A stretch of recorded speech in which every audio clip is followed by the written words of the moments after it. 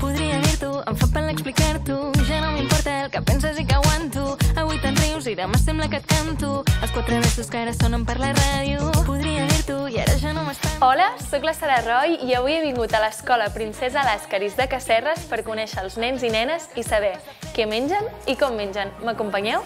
Som-hi! Ni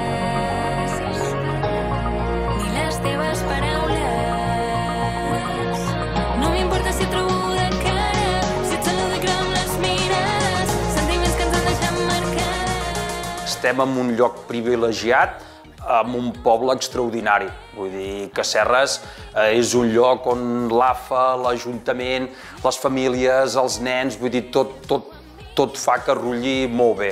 Té un tarannà molt maco, té una bona entesa, té unes ganes de sumar, té unes ganes de fer, té unes ganes de tirar endavant, que fa que l'escola vagi, vagi pràcticament sola. Des de l'equip de mestres, evidentment, també posem el nostre granet de sorra, però la nostra tasca, per sort, aquí a l'entorn on estem, és relativament senzilla.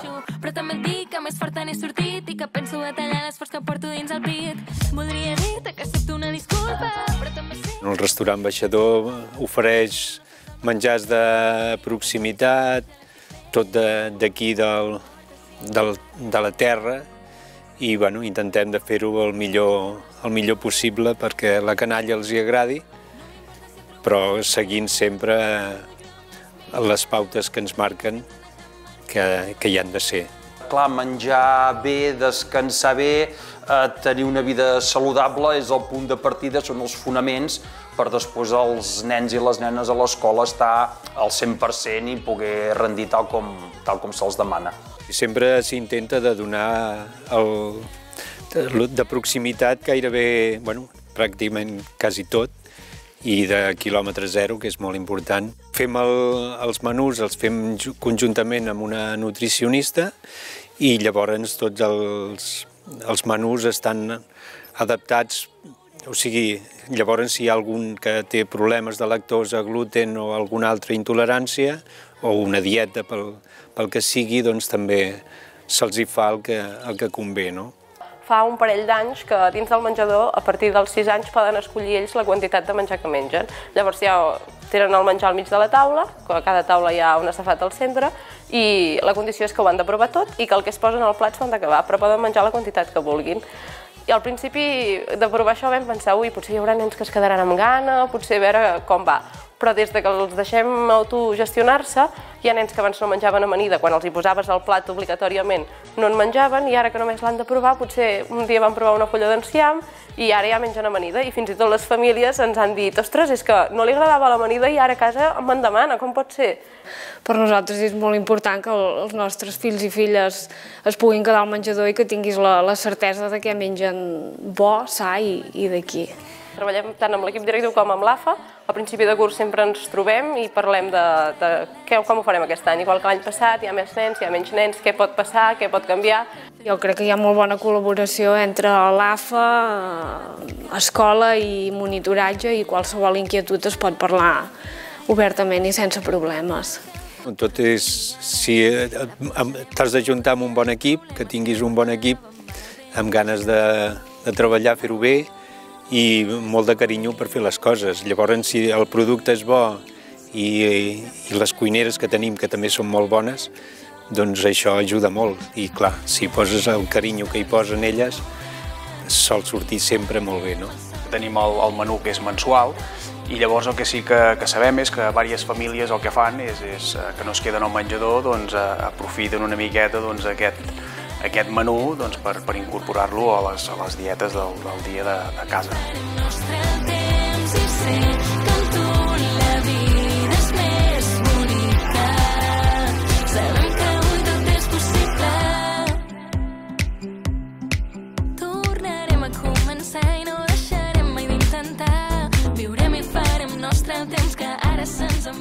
l'esforç que, que comporta tot això, doncs llavors si és recompensat sempre, sempre agrada que, que t'ho mirin, no? Però sempre, nosaltres sempre hem intentat, de fa molts anys, de continuar aquesta línia i, i estem molt contents i molt contents de que ens hagueu donat aquest, aquest reconeixement. Està molt bé pensar i està molt bé fer-ho i a més a més està molt bé promoure-ho. És una cosa que a vegades ens falta, a vegades ens fixem en els nostres defectes o en què fallem i en aquest cas ens estem fixant en el que fem bé i en, i en celebrar-ho que hi ha coses que fem bé i que ho podem fer aquí a Cacerres, al Berguedà, a Catalunya Central. Tenim un pilot de productors agroalimentaris de qualitat i s'han de posar en valor. Jo parlo en nom meu, però també una mica en nom del claustre i en, i en nom de l'AFA, i nosaltres eh, super contents, super emocionats, perquè, és clar l'alimentació és, és bueno, que dèiem abans, eh, una miqueta, sota aquest punt més, més fonamental, i també les famílies ho valoren moltíssim. Som de res en singular, tampoc de punts i a part. Si encara tenim sort i alguna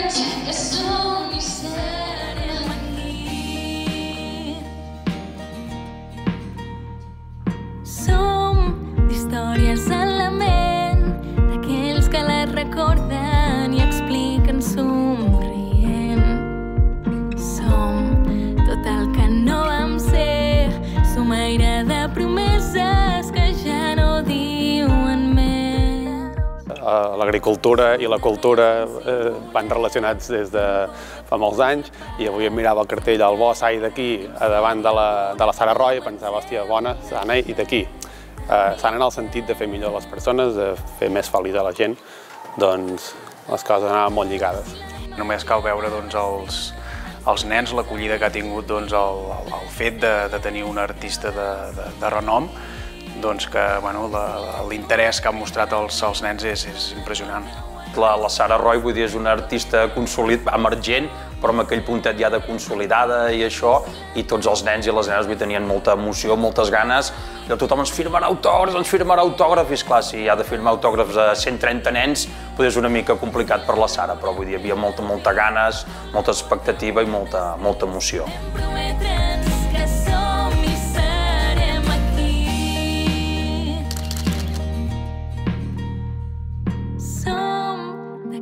part del món, d'aquells indrets que busquem on trobem mil cançons.